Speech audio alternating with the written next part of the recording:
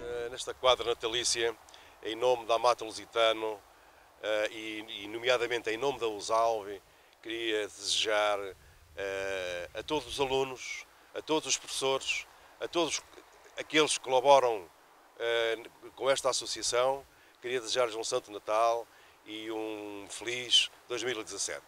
Quero também abranger neste, nestes votos todos aqueles que fazem parte eh, dos núcleos da USALB e das freguesias, pois foi, são extremamente importantes, tendo sido, neste caso, os últimos a entrar neste, neste grupo, que é já um grande grupo, de que muito nos orgulhamos.